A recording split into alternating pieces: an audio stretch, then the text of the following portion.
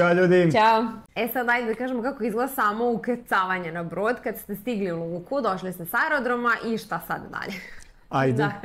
E, zapravo, eto, mi smo se prvi put iznenadili, e, ukrcajna luka, da kažemo, izgleda kao neki aerodrom, nekako da. najbliže tako možemo da opišemo. E, veliki prtljag ostavljate dole, oni vam stavljaju tag sa brojem sobe, to jest kabine koji vam je dodeljen i prosto ostavljate prtljag tu, idete gore na brod i uh, koferi vas čekaju ispred sobe ili u sobi, zavisi sad šta ćete da radite dok ne uđete u samu kabinu, to jest ne sobu. Da. Tu prolazite zapravo tu proceduru gde dobijate ovu brodsku karticu, ostavljate svoje podatke, oni imaju sve, već izdaju vam karticu sa vašim imenom, slikaju vas zato što svaki put kad se skenira kartica izađe vaša slika, tako da oni prosto mogu da uporede da neko nije vama ukrao kartici ukrao se, se na brod. da, da, da, u vaše ime. Vas. Još nešto, ako imate neki, ono, da kažem, pratle koji hoćete sa sobom, kao recimo ovaj što, ide, što nosite gore u avion, to možete da ponesete. Kao neki ručni prtljag, da. Kao neki ručni prtljag i do momenta, recimo, postoji određena, određeni termin koji dobijete kada biste trebali da se ukrcate, naravno, obavite tu svu proceduru i ulazite na brod. E, sobe su spremne recimo do 2-3 popodne, zavisi sad kako kada. Vi do tog momenta možete da se ukrcate, odete, promujete se po brodu, vidite malo istražite, možete možete na ručak, ručak da. da ono kao se odmorite malo, da kažem iskulerate i onda odete do sobe i kreće krstarenje. e sad da, postoji aplikacija, eto da kažemo za najlakše snalaženje na brodu. Aplikaciju uh, Cruiser možete skinuti naravno, kod kuće mnogo je lakše dok imate internet ili u luci. I a, čak i ako nemate internet paket, ta aplikacija radi na brodu. Samo je bitno da imate uključen Wi-Fi, taj brodski, i možete tu sve da gledate. Znači, čitav e, raspored broda, da vidite na, u kojoj ste vi uh, kabini, na kom deku, na kom se nalaze restorani i svi drugi sadržaj i tu vam sve prosto izlazi sva obaveštenja, recimo sutra, ne znam, u toliko i toliko se ukrcavamo u tu luku, polazak je u toliko sati, prosto, znači, kroz tu aplikaciju možete sve da pratite, sve dešavanje. I evo, tamo da napomenem kad si rekla uh, ukrcavanje u toj toj luci, ako je ukrcavanje, na primjer, u 16 časova, kreće ukrcavanje u 16 časova, brod prolazi, popolazi u 16.30, uh, vi do 16 časova morate biti ukrcani na brod. Znači, ukrcavanje traje do 16 časova. Vi možete da dođete u, u 14, ali u 16 i 15 već pitanje da li ćete moći da uđete, najverovatnije ne, jer su neki gosti tako trčali na brod, trčali i nisu stigli na ukrcavanje, brod je otišao bez njih. Evo mi polako splovljavamo, a ova ekipa je ostala. Jer su zakasnili 25 minuta. Isti je princip kao sa avionom. E, niko vas neće čekati, vi ako ste zakasnili, to je e, nažalost samo vaš problem, morate nekako da se da. snađete onda da stignete do sledeće luke, ukoliko ste na nekim ostrevima morat ćete da vijete e, neke avione. ili kako? Najbolja vam je opcija ukoliko ste promašili, na primjer, u Marseju, pa da sednete na neki bus da stignete do Barcelone, ali nije uvek takav da, slučaj. Tako da eto, gledajte minimum pola sata ranije da stignete odnosu na onaj termin koji piše da je kao poslednji neki poziv kada svi treba da su na brodu. I kad krene taj poslednji poziv, tad se nekako dešava i najveća gužva, tako da eto, da bi izbjegli tu gužvu, na vreme dođete. Imate sasvim dovoljno vremena da obiđete neki grad, i mislim da treba da se vratite na vreme. Da, e sada kada uh, smo mi išli na prvo, na prvo krstarenje, nama je bilo nepoznato zapravo taj moment kada brod pristane, evo recimo u Marse i nije bitno u Barcelonu, gde god, i šta sada? Da li mora da se uzme ona tura koja je organizovana od strane brodske kompanije ili vi prosto možete sami da idete i nemate nikakvih, dajde kažemo, dodatnih troškova što se iskrcavanja tiče. E, naravno, možete sve samostalno, niste u obavezi da plaćate nikakvu tu turu ili izlet. Prosto brod se ukrca, vi, vi izađete napolje i sami možete da stignete do grada. Naravno, neke luke su malo dalje, ne u nekim gradovima su luke baš u samom centru grada, tako da ste odmah tu, što bi se reklo.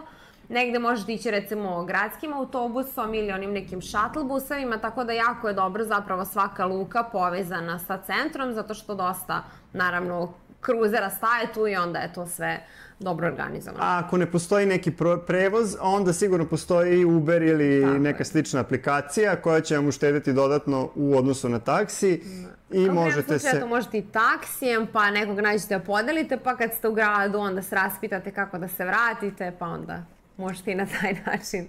Sve u svemu, ukoliko se planirate krstarenje Mediteranom, ispratite naše storije, sačuvani su na, na Instagramu, takođe je tu i blog post na sajtu, čisto da vidite šta i kako, kako da se snađete u Marseju, e, kako je najbolje u Barceloni da stignete do centra grada, u Savoni recimo staje baš direktno u centru grada, tako da tu da, kad izađete, tu ste na Siciliji, u Palermu je isto u centru grada, Luka, da Tako da... na Kanarska ostrava isto, tako da zavisi sve koju, koju ovaj, rutu odaberete. Da. E sad, šta recimo nije dozvoljeno uneti na brod? Ako ponesete recimo peglu ili za kosu ili peglu ovu za, za garderobu, ili dron. kuvalo za vodu, neko električno ćebe, sve to nije dozvoljeno da se nese na sam brod. Znači, oni će vam E, te stvari, kako bih rekla, oduzeti, oduzeti ali e, kada se budete iskrcavali, te stvari će vam biti vraćene, prosto ne možete samo da ih koristite dok ste tamo i onda zapravo najbolje da ih ne, ne nosite, ali prosto nemaju nikakvu pojentu ako ste ih poneli. Da, ukol, nećete moći da ih Ukoliko treba nešto da opeglate,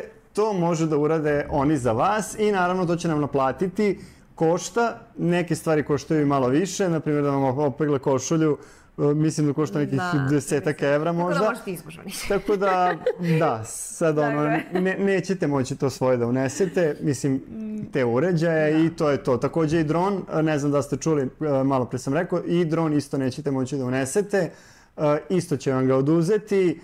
Postoji tu spisak svih stvari koje je najbolje da proverite na sajtu brodske kompanije i jednostavno da se pripremite pre dolaska na sam brod. Tako je. E sad onda pitanje da li se brod ljulja? Pošto je veliki kruzer, uh, naš prvi kruzer je 270 metara, drugi kruzer je bio 350 veći. metara, da. još veći. Uh, sada, da li se ti brodovi ljuljaju ili su oni stabilni? Uh, ljuljanje broda zavisi od mnogo faktora. Ne nužno samo od talasa. Talasi od 2, 3, 4 metra nekad pretrano ne ljuljaju brod. Zavisnosti s koje strane kako ovaj, dolaze, ali nekad vetar zna da ljulja brod. Sve u svemu to je nešto što je, da kažem, minorno i što ne bi trebalo nešto preterano da se, da, da se oseti, oseti jako. Da. Ajde kažem, mi smo išli kad je bila koliko toliko sezona, nismo išli na neku zimu kada postoje recimo veći talasi, ono, duva vetar i tako, pa je onda moguće da se ljulja, ali prosto ako idete neko ono proleće, jesen, leto, ne bi trebalo da bude nekih problema, ali eto ako mislite da eto, da čisto ponesite da... neku, ono, možda tabletu protiv muke i... Či, čisto da kažem, ovo, mi smo išli u novembru, e, Mediteranom, ljudi očekuju da će možda da bude hladno, nama je bilo idealno vreme, bilo je toplo, e, na jednoj deonici je bilo vetra, pa je brod malo ljuljao. I ovaj, sad kad smo spomenuli e, tabletu, ono što isto treba da znate, na brodu imate i doktora, to nije sada uh, neki hirurg koji će, ako vam se nešto ne daj Bože u toku noći desi, koji će vas operisati, ali je to doktor koji će vam ukazati prvu pomoć i ukoliko je nešto potrebno da se uh, hitno interveniše, uh, brod će vanredno da uh, priđe nekoj luci, tu će vas sačekati ovaj, pomoćni, pomoćni brod koji će vas odvesti do kopna ukoliko je nešto hitno. E, takođe postoje neke opcije helikoptera i tako dalje, ali to sad mislim da se nešto dodatno doplaćuje. Sve u svemu nemojte da brinete to što ste na brodu, e, sigurni ste i definitivno ono što treba da uradite je da obavezno uplatite putno osiguranje kao putno zdravstveno osiguranje kako god ono mi ga uvek imamo sa sobom. Da. E, šta, je, šta smo još imali? Da, pa mislim da smo nekako sve pokrili.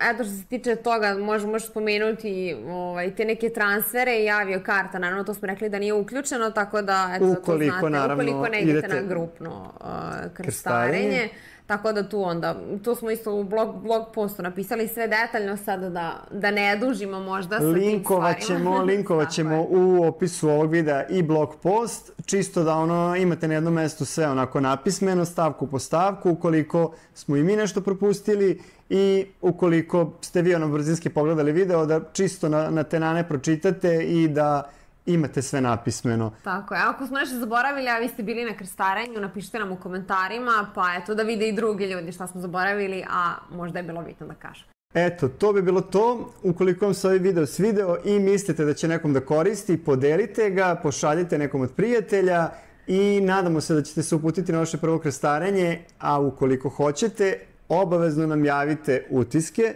Vidimo Eto, vidimo se u narednom videu. Ćao. Ćao.